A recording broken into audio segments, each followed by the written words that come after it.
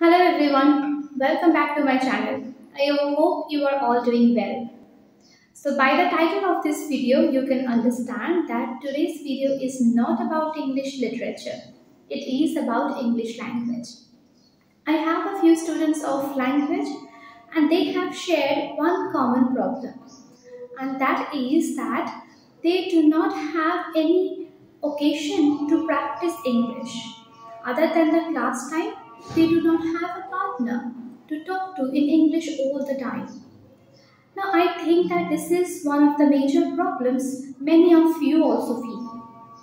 So, I have compiled a few tips to continue learning English even when you are alone. So, let us begin.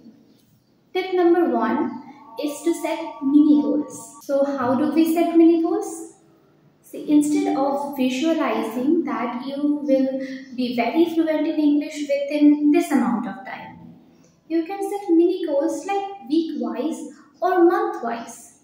Like by the end of the week, you will study the, all the verb forms. By the end of the month, you will be able to form sentences which are tense-wise correct. So by setting mini goals, you will be able to have some sense of accomplishments. And you will not get frustrated thinking that oh it is not progressing and you are not learning anything. And it will help you to visualize the future. How is your learning going step by step? The point number 2 is that you need to have a book. It can be a grammar book a vocabulary book or an exam preparation book.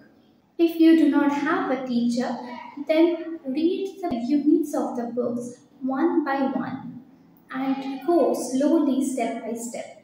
And if you have a teacher, you can always discuss whatever you have learned from the book with your teacher. The third tip is related to having a book. So it is using the YouTube so if you do not have a teacher, whatever you have learned from the book, you can always confirm that from a YouTube video. There are many great contents on the YouTube and you can always uh, see all those contents and that will also help you to improve your listening skill. Listening skill is very important while you are learning one language. The fourth tip is that to be able to write example sentence. Suppose you have learned one topic from a book and also from YouTube video. And then you have to try to write example sentences. Use the grammar, use the vocabulary, write sentences. You do not need to be 100% correct all the time, but you need to get familiar. Familiarity with the language will give you a bit of confidence and that will help you to learn even better. The fifth point is that watch movies, videos with the subtitles on. Subtitles are great things. It will help you to learn new words and also it will help you to see the grammatical structure of the sentence. You can always pause the movie in order to read the subtitles. And uh, reading the subtitles and watching, listening uh, to whatever it is said in the movie at the same time is a very great way to improve English. The sixth point tip is that you have to make a decision whether you are studying with English or you are relaxing with English. Suppose you are watching a film, but if you are watching the film for relaxation, then just watch the film for relaxation. But if you are watching the film for study purpose, then keep one pen and paper. Write down the new words you will get.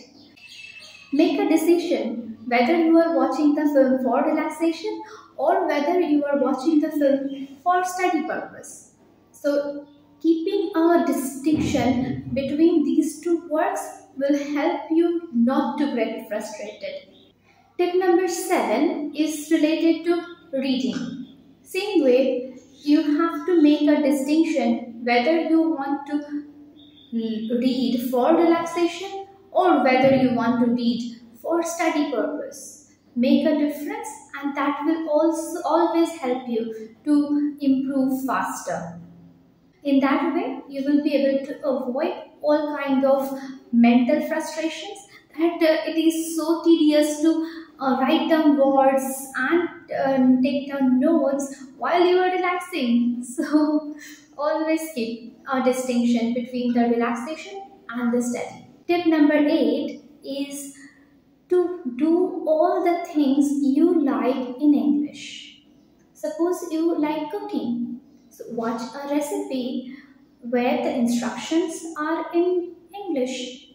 If you like sports, watch sports with English commentary. That will always help you to improve your listening skill and also get you some new vocabs related to your field of interest. Tip number 9 is to keep a diary. Write down everything you do in a day at the end of the day. And after that, reading all your writing aloud will help you to improve your spoken as well as your written skills. Suppose if you do every day the same work and meet the same people, then challenge yourself write something different. Like suppose you have seen someone different. Suppose one of your colleagues has dressed differently.